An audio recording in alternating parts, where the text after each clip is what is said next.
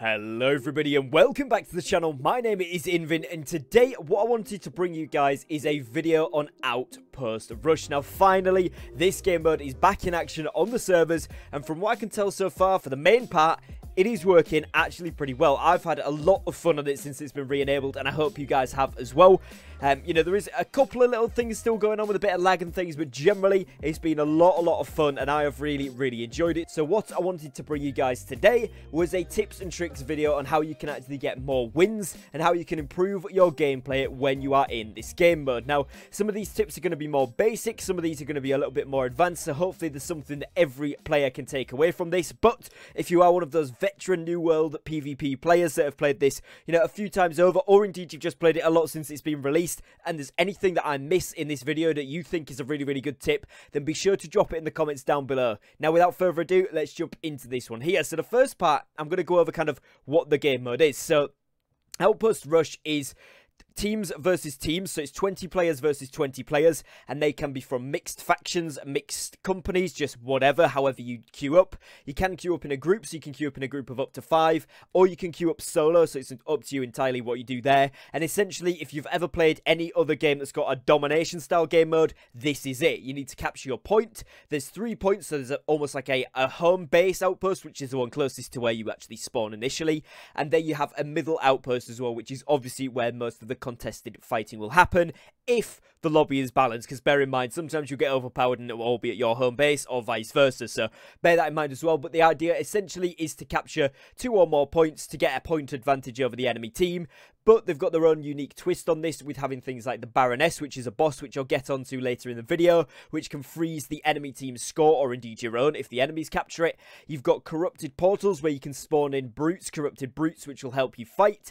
And of course, you can spawn in other stuff, use powder kegs, use food, potions, and all of the other crazy New World stuff on top of that as well. So that's kind of like the basic premise of what Outpost Rush actually is. So now I'm going to move on to talk about what you should actually be doing. So obviously, like I mentioned there, the game mode is domination. So capping the middle point is clearly going to be very, very important. But you also want to make sure you have your home point too.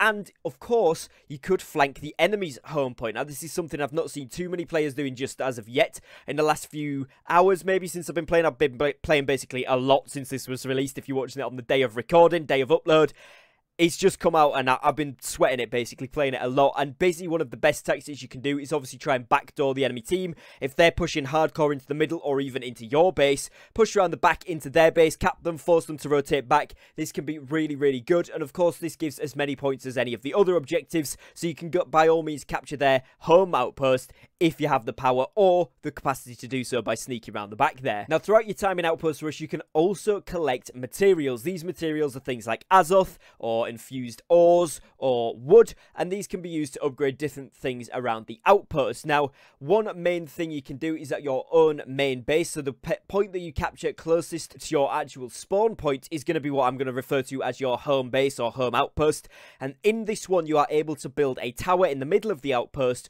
which will then activate a respawn point inside that outpost. Now, obviously this is good essentially for the respawn itself, but relating to the tip that I just gave you guys in the first instance there about backdooring, this means that if players do try and backdoor you, they will have to destroy this tower first before they're able to capture the point. So that's going to give them a little bit more time. It's going to give you a little bit more time to react to where the players are and, of course, hopefully defend that successfully. And like I mentioned there, having that little respawn an extra 300 meters closer to that middle point is always, always a good thing. So I would certainly recommend you do that. Now, at the start of the game, the best strategy is to have basically 19 or 18 players running to the middle point with one or two players going for that home point. Obviously, because you want to get the middle one to give yourself that good up front footing off the rip. And it's going to be really important to get that dominance going early doors to give yourself a point advantage. Very rarely do you see a team flank all the way around from their home point to your home point first. Although now this video is out and that idea is up in the air. You may see some people try it.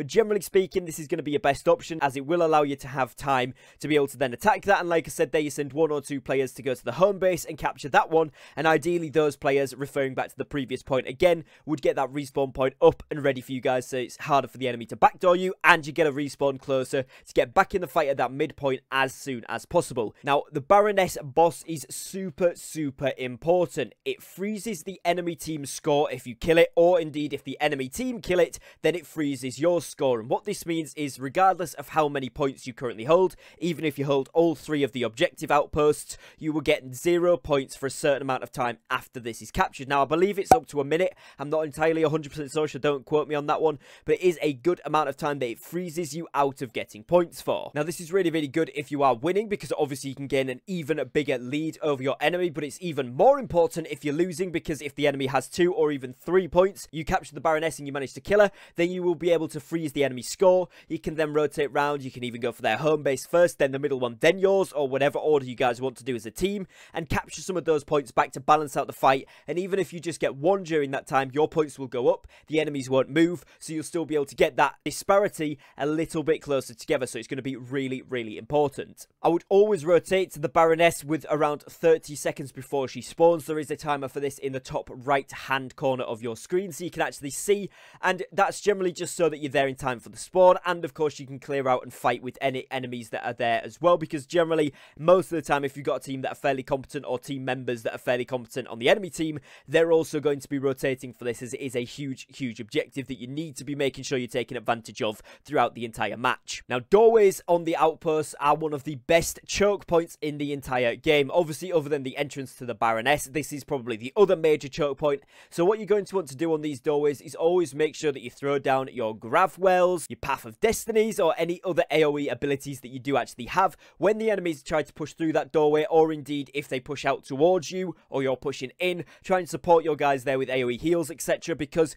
this is going to be the biggest choke point. Once you actually blast through into the middle of the point, that's going to be a lot easier for you or for the enemies to run around. But in those doorways is a really, really tricky point to get through, unless, of course, you utilize the battlements. But, of course, if you are attacking, you're trying to get into that outpost, you have to go through the doors to do this. So, can be very, very tricky. So, make sure you're making the most of your AoEs and your stun CCs on those points, as you're going to get a ton of damage up and probably get a nice few kills to either stop or indeed be able to get through that push if you're attacking and you manage to kill the enemy defending team there as well. Now, one really, really important point is to not overextend. Similarly to the wars, if the team that owns the point you are attacking respawns and they have their respawn tower up, so let's say you have your home point and the middle point and you're pushing for their home point, if you overextend and go into this base whilst they still have the respawn tower up, the respawn timers are only 5 seconds and the enemies can respawn there almost indefinitely until you destroy that tower. And you won't be able to capture the point until you destroy that tower either, so pushing past this and not focusing that tower is going to be detrimental. So,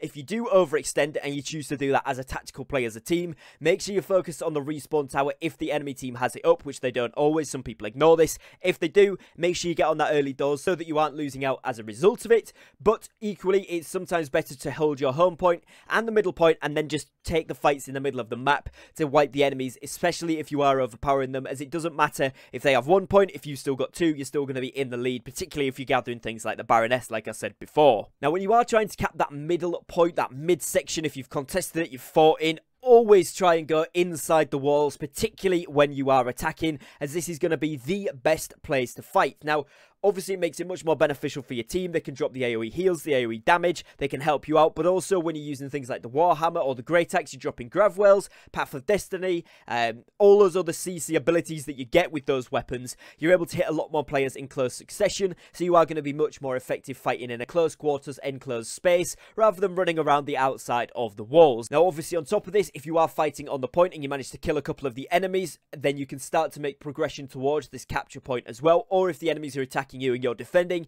you manage to fight a couple of them, kill them, then they can't do progress towards their capture as well if you are fighting them on the point. Whereas if they're kind of sneaking around the back, waiting to kill you, pick you off one by one and then come in, they can start capturing it a lot quicker. So it's always more beneficial, in my opinion, to fight on the site. Obviously, there is scenarios where this isn't possible. You will need to go out and fight, of course, so don't take it as gospel truth the whole time. You need to be on the point, but generally speaking, particularly when you're attacking, it is going to be very, very good for you. If you are ranged and you are defending or attacking, soon as you get into those walls, try and make use of the battlements as well, whether you're a healer, whether you're a musket player, a bow player, a mage, whatever the case may be. Sometimes getting up on those walls is really, really good, including if you've got a great axe, throw those grav wells from up the top, grab a lot of players in, and then jump on them with your abilities. You'll do a lot more damage, and it's a very, very satisfying feeling when you grab five, six players in one gravity well in the middle. Now, in Outpost Rush, you'll probably have noticed by now, if you've played any of it at all, that you are able to summon things. Now, these can be things like the Corrupted Brutes, there can be bears, and there can be ghosts. The corrupted brutes are actually gained through the corrupted portal, which is at the opposite side of the map to where the Baroness spawns, and it's represented by the portal emblem.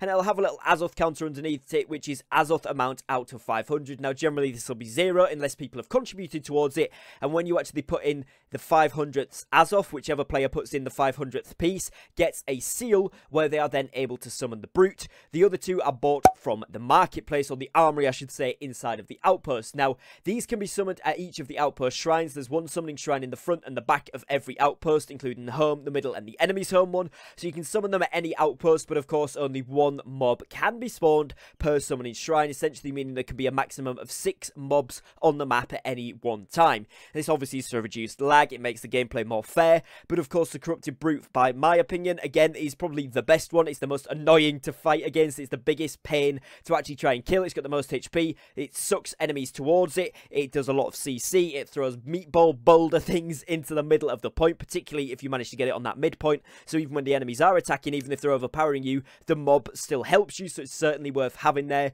So generally speaking, you want to try and get some of those down as soon as you can, as the summons really, really do help you out. Now, a lot of people don't really know about the armory, so touching back onto that quickly, you get Azoth from killing the mobs in the area, so these can be attacking mobs, or these can be things like wolves, which you then skin for the infused fur. Either way, you'll get an Azoth drop of 25 Azoth per kill on those, or the zombies, and then you are able to actually pick that up and use it at the armory to buy things like you would with battle tokens in the war situations. This infused Azoth can be used to buy things like food, which gives you a 10% speed buff, which I highly recommend. It's a lot of fun and very, very useful. You can also buy yourself some infused pots, things like powder kegs, like I mentioned before, for if you're going to try and kill the boss or breach the enemy base quicker. Powder kegs are really useful, and a whole host of other things that you can buy, like potions and food, from this armory. Make sure you take advantage of this because it's a huge, huge benefit to your team and yourself. If you do take advantage of this, as a lot of players are kind of ignoring it, just using it for the PvP aspects rather than gathering 50 to 100 as Azoth very, very quickly, which you can do in literally 30 seconds, and then getting food set up for the rest of the game, which I would highly, highly recommend. Now, obviously, you want to try to stay together as much as possible and work as a team. If you do push things as a team, you will be able to win a lot more scenarios, and that is going to get you the win overall in Outpost Rush because it's 20v20. If they split up and fragment and you've got 18 players versus their 6, 9 times out of 10 you're winning that fight every single time without even losing a player, so you can by far then overpower the enemy at whichever point you need to go to. They're back on respawn, and you can clear out your areas of the map, so make sure you go together whether you're pushing a point, whether you're pushing the Baroness, whether you're pushing a different point, or you're just moving around together. Try and stay grouped as it really, really does help. Now, that being said,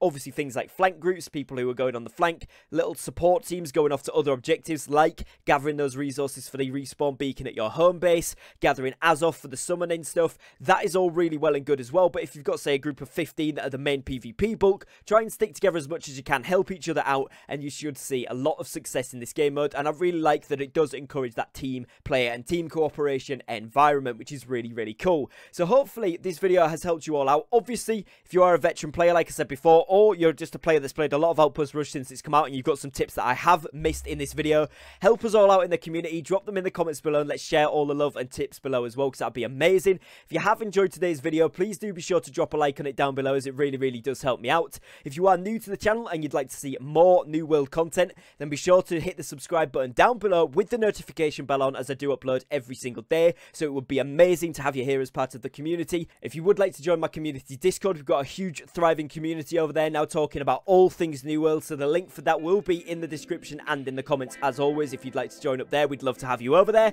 Other than that, guys, as always, thank you very much for watching. Take care and peace.